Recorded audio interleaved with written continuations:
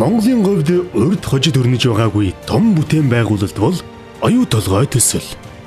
Энэ ордыг ашиглахаар барьж байгуулж байгаа үйлдвэр дэд бүтцүүдээс монголчууд юу сурч хөрсөн дээр соёолсон үр тариа монгол хүнийг хэрхэн хөгжүүлж үр шимээ хэрхэн өгч байгааг төслийн бетон зурмаг үйлдвэрлэгч премиум конкрет компани цоо шинхэн үйлдвэрээс жишээ болгон үзүүлье. Монгол улстай хамгийн анхны хамгийн том ийж бүрэн автомат. Энэ түүхийн үед дулаан агуулгад хадгалдаг өвлийн нөхцөлд одоо 30 градусд бетон зурмаг үйлдвэрс нийлүүлэх, тогтмол нийлүүлэх, өдөр болго нийлүүлэх том хүчин чадалтай ийм үйлдвэр байгуулсан байна.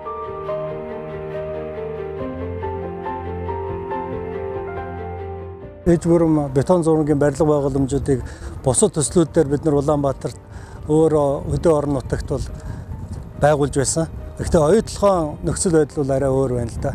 Энэ бол Rio Tinto-гийн Английн стандартын дагуу явж байгаа. Бүх процесс шатанда одоо чанарын хяналттай. Тийм учраас хэрэгжүүлэх хугацаа, материалын чанар, зардлын хувьд бол асар өндөр. Олон улсын стандартад нийцсэн ийм зөвлөл үйлдвэрийг анхудаа барьж байгаа. Оюу толгой хөрөнгөө гаргасан одоо 7 8 жилийн ажлын туршлаган дээр үндэслээд энийг бий болгосон ийм л асуудал байна. Тэгээ бид нар энэ чэнээс бас маш их юм сурлаа. Бүх талын хүчин зүтгэл оролцож ийм амжилттай болсон төсөл. Олон улсын стандарт гэдэг маань болохоор зэрэг яагаад ингэж их их хугацаа авдгийм бэ гэдгийг би бас тайлбарлаж өгье гэж бодож байна л доо. Жишээлбэл бид нар энэ төслийг хэрэгжүүлэхийн тулд 1100 хуудас зургийг зураад тэрийг хуудас нэг бүрээр нь баталгаажуулсан. Жакобс гэдэг энэ олон улсын байгууллага өөрөө Тэг бүх зургийг нэг бүрчлэн үзээд энэ болж юм болохгүй байна. А зөвхөн нэг явсан зургийг үзчихээ болж ийн гэж буцаагаад явуулахгүй. 2 3 ревю явж байж 3 дахь ревюдээ 4 дахь ревю явж байж баталгаажаад нөгөө зургийнхаа дагуу баталгаажсныхын дараа зургийнхын дагуу ажиллаа эхэлж явуулдаг юм л стандарт байдаг юм байна. Монгол улсын норм дүрмийн дагуу зурж экспертизээр батлуулахаас гадна Jacobs-ийн Brisbane офс руу явуулж Jacobs инженерингээр хуудас тус бүрийг нэг бүрчлэн шалгаж бүх ажил дээр санал шүмжээ өгч засуулж ингэж явдаг онцлогтой. Дээрээс нь энэ төслийн онцлог нь гэдэг юм бол бүх шугам шүлжээ кабель болгон хоолой болгон хаалт унтраалга ресет болгон дугаартай бүх юм дугаартай тэрийг маш зэгцтэйгээр ингэж дугаарлахаас гадна тэрийг тэр нөгөө нэг барилгынхаа бичиг баримтанд хадгалдаг. Тэр утгаараа айгүй онцлогтой. Зөвхөн энэ томд хөрөмжийг усрахын тулд бид нар энэ болт зүгээр л нэг юм болт харагдаж байна. Гэтэл энэ болохоор зэрэг hot galvanized bolt гэдэг хизээч зэвэрдгүү бүх барилгууд дээр зөвхөн энэ болтыг л ашиглахыг зөвшөөрч байгаа. Хар болтоор бол ямар ч юмыг хийлгэхгүй. Тэгээ одоо энэ дээр ингээд дугаарлаад ингээд зурцсан байгаас энэ болт нэг болгоныг torque гэж инспекшнд оруулдаг. Болт болгоныг татгаж үзээд нормдоо татгдсан байна уу үгүй байна уу гэдгээр шалгаад инспекшн хийгээд бичиг цаасан дээр инспекшны хуудас үлдээд тэгсний дараа за болжээ. Тоног төхөөрөмжийг ашиглалтанд хүлээж авахд бэлэн боллоо гэдэг нэг ийм юм явд юм байна. Өвөлдөө хасах 40 зундаа хөрсөн дээрээ нэмэх 40 градус халдаг Монголын говь нутагт жилийн дөрвөн үлрэл 24 цаг тасралт үе ажиллаж чанартай нийлүүлж байгаа цогц үйл ажиллагаатай үйлдвэр юм. Анхны одоо цорын ганц шүрсдэг бетон зуурс нийлүүлэх одоо чадвартай компани бол премиум конкрет компани байгаа. Одоо газар доорын оюутлогоо төсөл маань 200 км түнэл барьна гэж байгаа. Энэний өдөр болгон одоо түнэлийн өрөмдлөг хийж байгаа. Тэрийг нуралтаас хамгаалж одоо шүрсэж байгаа хан руу гүний уурхайд хэрглэж байгаа шоткрит гэдэг шүршдэг бетоныг ерөөсөө 1 минут ч зогсоож болдоггүй. Доор одоо 1300 метрт шүршиж байгаа хүмүүс маань болохоор зэрэг ерөөсөө тэр багж нь болохоор зэрэг маш өрндөр даралтаар шүршдэг.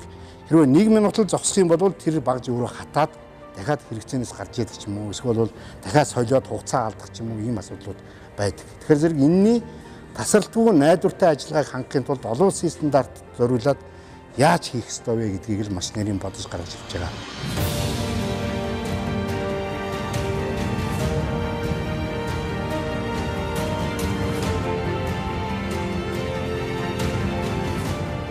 Бетон гэдэг маань жишээлбэл одоо өвөлч бай, зунч бай нэг л температуртай гарна. 18 градус температуртай байх ёстой гэсэн бол 18 градус температуртайгаар нийлүүлэгчд очих хэвээр хэрэглэгчд.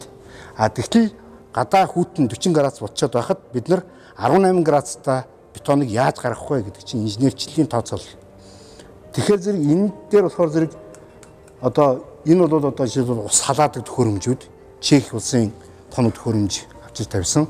Энэ ус халаадаг төхөөрөмжүүдээр усаа хэрглэж байгаа цэвэрлэгдээд гараад ирж байгаа усаа тодорхой хэмжээнд 70 градус 80 градус хүртэл халаагаад энд байж байгаа тэр том том йонксууд дотор тодорхой хугацаанд байлгаж ягаад тэгээд бетоноо зуураад гаргахдаа цагийн дараа гарч байгаа бетон бол тэдэн градус температуртай байх юм байна гэж тооцоолсон үсэн дээр гаргаж байгаа ийм л асуудал. Энийг бол зөвхөн гадаадын мэрэгчлэнүүдээс бид нар бол яагаагүй өөрсдөө зуны халуунд бол энэ гадна талд нь тавьсан байгаа чийлэр гэл энэ бол одоо ус одоо усыг ингэж хөргөдөг чийлэр гэдэг юмыг бол ерөөсөө би бол амьдралдаа мэдэхгүй байсан. Энд ирээл за энийг усыг бол ингэж хөргөж болдго юм байна гэдгийг анхудаа энд ирээл мэддэг болох жишээ таах. Оюу толгой төслийн туслан гүйцэтгэгч ханган нийлүүлэгч компаниуд альч олон улсын томоохон төслүүдэд оролцох мэрэгжлийн болоод хариуцлагын ур чадварыг бүрэн эзэмшжээ. Хүний хүчин зүйл, техник технологи, байгаль цагуурийн эрсдлүүдийг бүх төвшөнд урьдчилан тооцоолох эрдэм ухаанд Монгол компаниуд давхар давхар суралцж байгаа. Оюу толгой төслийн талбаар нэвтрэхээс эхлэн аюулгүй ажиллагааны нарийн чанд дүрмэн дор энэ том бүтээн байгуулалтыг хэрэгжүүлж байгаа 10 мянган монгол залуу суралцж ажил амьдралынхаа зуршил мөрдлөг болгож чадсанд төслийн ирээдүйн үр өгөөж илэрнэ. За энэ Rio Tinto-гийн аюулгүй ажиллагааны бодлого гэдэг бол дэлхийд номер 1 хүний төлөө, ажилчдын төлөө ийм зориулагдчихсан байдаг. Энэ том бүтээн байгуулалтыг бид нэр нэг ч одоо тийм хүний гарыг шалблаагүй те нэг ч хүнийг бэртээгүйгээр ингээд дууссан гэдэг маань өөрөө маш өндөр үзүүлэлт. Групп компани хэмжээнд бол одоогийн байдлаар бид нэр 2 сая 500 мянган хүн цаг аюул ослгүй хөлбөмбөгийн чадвар алдагдaltaгүйгээр ажилласан байж байна. Бид бол аль болох орон нутгийн иргэдийг дэмжихтэй тэр дундаа Өмнө Говь аймгийн болон одоо Хан богд тэгээ Далан заадгад гэсэн сумуудаасаас одоо яг манад хүмүүс л ажиллаж байгаа. Тэгээ нийт одоо манай орон тооны 10% нь бол эдгээр ажилтнууд байдаг. Аа тэгээ цаашдаа ч гэсэн энэ хүү одоо нөгөө хувиа өсөхөөр анхаарч ажиллаж байгаа орон нутгаас авж байгаа ажилтнуудыг бас нөгөө маш олон төрлийн юм нөгөө соёлуудад суралцуулж байдаг. За тэгээ оюутлогоо төсөл төр бол нөгөө олон улсын одоо бүх улс орнуудаас хүмүүс байдаг. Учираас одоо маш олон улсын соёлуудаас энд аягүй их түгээмэл төрх одоо нөгөө тархсан байдаг.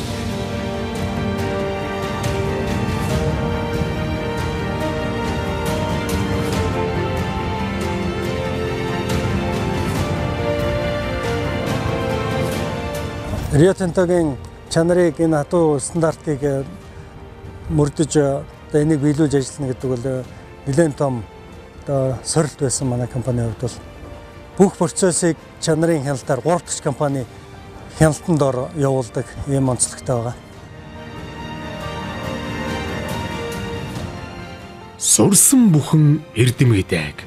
Уулсын ноён оргил хурж гарамгүй харагддаг атал хүн оюун ухаан бие сэтгэлээ бүрэн дайчилж хөдөлмөрлөж чадвал мөсөн уулын оройг шизлэх хосгүй чадал ухаанд хүмүүнд бий. Монголын мянга мянган ажилсаг залуус өмнөд говьд дэлхийд ан худаа хэрэгжүүлж байгаа газрын гүнд 1300 метрийн доор үйлдвэр уур хай байгуулж түүнийг эзний ёсоор эрдэмшин авч явах чадвар чадвахад ийхүү суралцж байна. Бид оюу толгой төслийг цас дуулын оргил гэж үзвэл Энэ ориглын орой дээр хамтын хүч, эрдэм мэдлэгээ эрх тэгш хуваалцсан суралцж байна. Премиум конкрет компани уулын ориглыг эзэгнэгч үндэсний томоохон төлөөлөл болсныг үзүүлэхэд ийм буюу